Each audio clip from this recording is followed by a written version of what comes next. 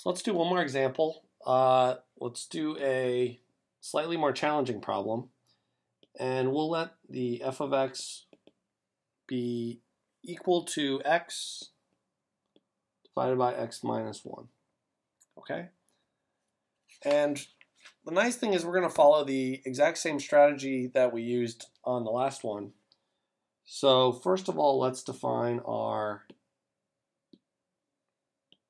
f of x plus delta x, right? So in this case, we're going to get x plus delta x over x plus delta x minus 1. Because we simply replace everywhere that there was an x in the function with the x plus delta x. And then let's also define the f of x again, which is simple because the problem gave it to us. X over x minus 1, great. And now we will write down the, the definition of the derivative, right?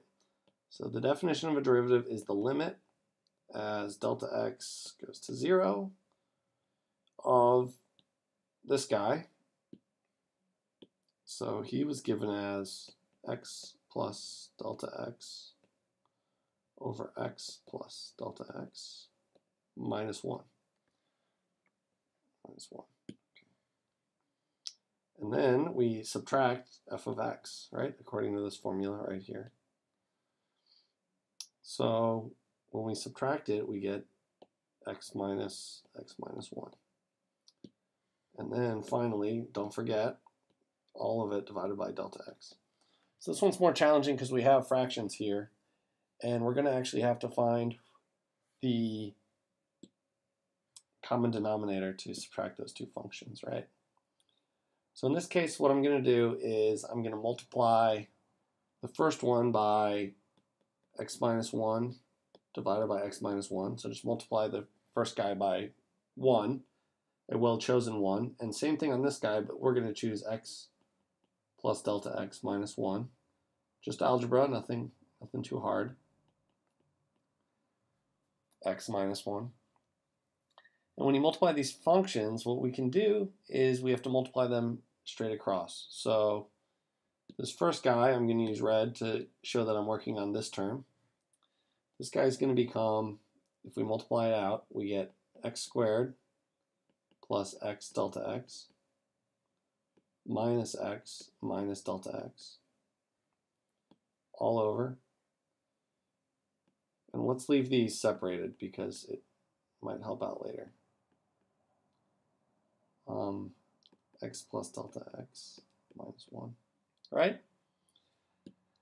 We'll do the same thing for the other term here. So we're going to now subtract x distributed across these guys. So x squared plus x delta x minus x all over. And again, I'll leave these separated.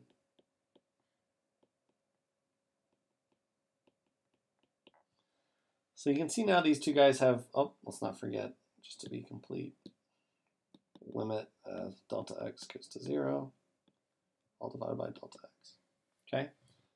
But these two guys here, they've got the same common denominator, so now we can actually subtract the numerators by each other. So this guy and this guy. Okay? So the result of subtracting these numerators, we get x squared minus x squared, so this guy can cancel with this guy, so that's great. Once again, we're seeing nice cancellation, so we're, we're on the right track. This guy can cancel with this guy because of the negative again. Negative right here. Then we get minus x minus minus x. So those guys cancel. And so what we're left with now is we have a just the negative delta x on top. So if I rewrite this, so now everything's been combined get delta x all over x minus 1 times x plus delta x minus 1. Okay? And again, there is all of this is divided by delta x. Now remember, when it's just divided by delta x on the bottom like this, we can also rewrite this as, if we cross this out, as times 1 over delta x. And I think this is a better way to look at it because what's going to happen here is now we go through and we actually see we get a delta x on top, delta x on bottom. Those cancel to 1. So we have 1 left over. And now we can rewrite all this again as the limit as delta x goes to 0 of 1 over x minus 1 over x plus delta x minus 1. And so by getting rid of this delta x on bottom, we can actually take the limit now because the limit of this new function won't go to infinity because anything you divide by 0 goes to infinity. So what gets left over after we take the limit? Well, this guy goes to 0 per this limit. And what we're left with now is 1 over x minus 1, x minus 1. And so since there are no more delta x's left, we have our solution. So, and this can be simplified slightly to 1 over x minus 1 squared. And that's your derivative of this function here. So this is your f prime of x. Great, thank you.